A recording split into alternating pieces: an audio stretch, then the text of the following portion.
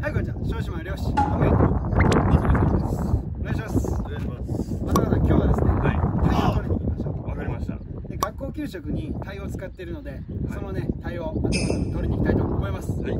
それじゃあ一緒に。レッツゴーそれでは今宵はタイ狙いということでやっていきましょう。まず船のエンジンをつけて GPS 魚群探知機の、えー電源を入れてレーダーの電源を入れていきます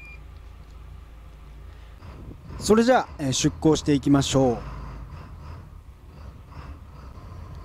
え船を港から出して現場の方に向かっていきます。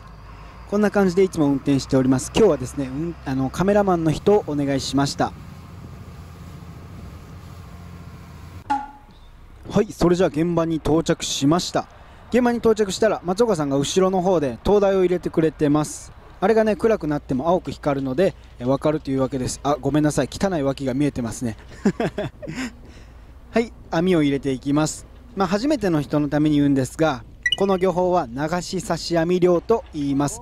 網の長さが、えー 1500m 高さが 30m あります。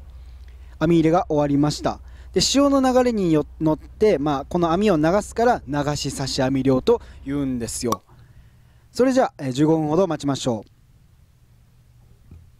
はいそれじゃあ15分ほど待ちましょう。重複してしまいましたね、えー15分から20分ほど待ったところでエンジンをかけていきます、えーじゃあここでちょっと股間をチェックしてカッパを履いていきましょう。こう見えてね結構風が強くて揺れてます。えここら辺から少しだけあのーていうの音がありません。なんかカメラの調子が悪かったんかな。はいじゃあ網を食っていきます。果たしてタイはいるのでしょうか？こんな明るいにもかかわらずですね早速1匹目のタイがやってきました。マダイとかチダイとかってね多分ここら辺マダイぐらいしかいないと思うんですよ。あんま僕見分けつかないんですけど。で松岡さんが外してタイを締めていきます。まあ生かし地元の市場で売るんだったら生かすんですけどこれはちょっと松岡さんの加工場の方に行くので、えー背骨の下を切って尻尾の方を締めてで流水の中で血抜きをしていきます。こうすることでねしっかり血が抜けます。のじめって言ってあの氷水の中に入れる方法もあるんですけどそれだとね身がもう本当に赤いんですけどこの流水血抜きをしているとお腹の中も結構きれいに血が抜けていて身も真っ白です。で2匹目がやってきました。全然ねいなくてこのままだと全部で10匹ぐらいかなって思うぐらいのスピードで来てます。もうこの時点で多分すでに3分の2ぐらいはあれしてましたね。食ってましたね。でサメがやってきました。サメというかまあフカというサメの一種ですね。このフカは、えーどこだったかな？愛媛県の方ではよく食べられていて割とポピュラーな食べ物なんですよ。郷土料理とか。でこいつがね逃がしても逃がしても何回でもかかってくるのでなるべく遠くの方にぶん投げて逃がします。僕らにとっては本当に迷惑な魚なので、まあ、害獣で害獣ですね。害獣害魚。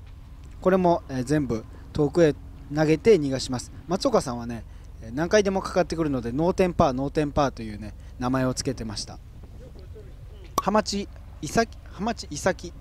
まあ呼び方はいろいろあるんですがハマチの子供がやってきました。これは生かしておきます。小さいにしては割と肥えてましたね。じゃあ残りもじゃんじゃん食っていきましょう、えー続きましてこちら何だか分かりますか、えー、ヒラでございます。サザエでございます。ヒラです、えヒラは岡山県の方では割とポピュラーでよく食べられてます。これがねめちゃくちゃ美味しいんですよ。でこの時小餅で、え小餅にもかかわらず油も非常に乗っていてで卵がまたねきめ細やかくて美味しい。でタイが増えてきたので尻尾の方は血抜きをせずあのエラの方だけ切っていきます。エラというか、まあ、背骨の下ですね。これでもね後からさばいてみたんですが十分綺麗に血抜きができてました。でこれが黒鯛チヌ。これは逃がします。まあ取ったところでね黒鯛美味しいんですけど安いんですよね。じゃんじゃんじゃんじゃん。マダイが上がってきております。ああごめんなさい。あの鼻をすすったらダメ。あの汚いなってコメントであったんで控えようと思ってたんですがついついすすってしまいました。でタイム増えてきたのでじゃこじゃこ締めてじゃこじゃこ締めていきます。じゃこじゃこ締めるって何でしょうね。大きい深もやってきました。でお腹の中赤ちゃんだらけなんですよ。でここ浅瀬になっていて多分産卵のためにねあの孵化がたくさんやってきてるんだと思います。本当でしたらね全部駆除したいところです。だってお腹の中で全部サメが入ってますからね。でもうこの間もサメと、まあ、タイといろいろ来てます。ハンマー投げ選手のようですね、まあ、あれぐらいでは全然サメが死にませんのでまあご了承ください。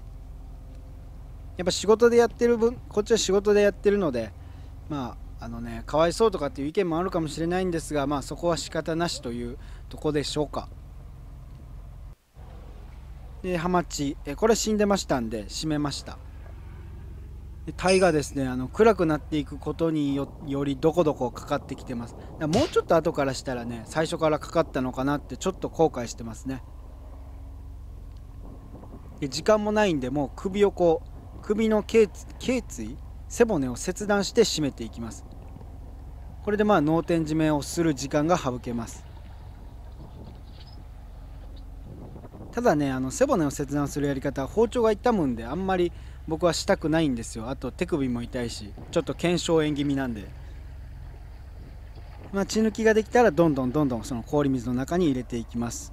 あそういえばですねあのカメラマンさんはちょっと二日酔いじゃなくてあの船酔いしちゃってあの倒れてるので ここはね僕の僕の視点ですね。僕視点。この時もちゃんと GoPro はね口に加えております。よだれがちょっと途中垂れるかもしれません。でサーラがやってきました。やっぱねサーラが気持ちいいですね。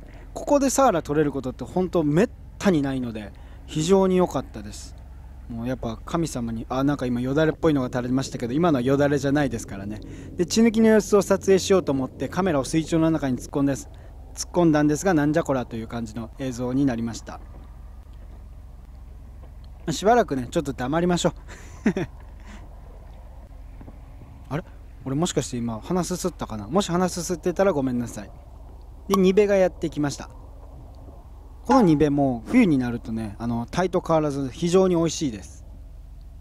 ただやっぱり認知度が少ないんであんまり売れないですね。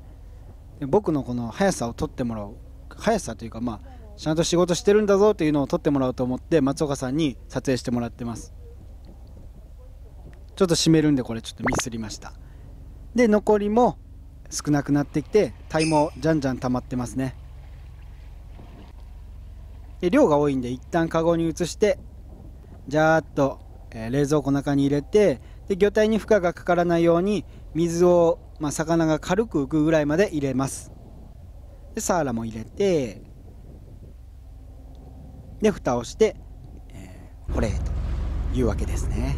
終わりました。はい終了はい網繰りが終了しました。じゃあこの最初に入れた灯台を上げて帰りましょう。お疲れ様でした。僕と松岡さん。じゃあかじゃあ帰りましょう。帰りましょうはいじゃあ港に帰ってきました、お疲れ様でした松岡さん。ありがとうございました。いえいえ。よしよし。ありがとうございます。というわけで 松岡さんに、はい、あの今から箱魚立って持って帰ってもらって明日一緒にさばきます、はいじゃあまず箱に立ちましょう。はい。いやおってよかったね。最初はおらんと思ったけど。どうしようか思ったな。うん。いやああ何持った。よいしょ こんだけ数並べないと数えれたのに。うん。いやだから5枚ずつ列作ってたつもりやった。そうなの？横に5枚並べてあと縦数えたら分かるやん、うん、そう思い60ぐらい。俺10人しか入れてない。からああ。そうなのそんな平いいん、うん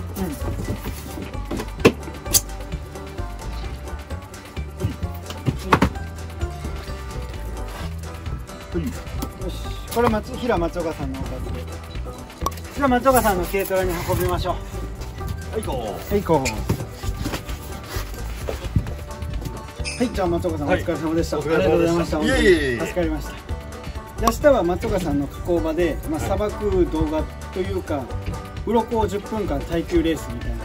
はいはいはい。動画を撮りたいと思います、はい。じゃあ皆さんご視聴ありがとうございました。じゃあさよなら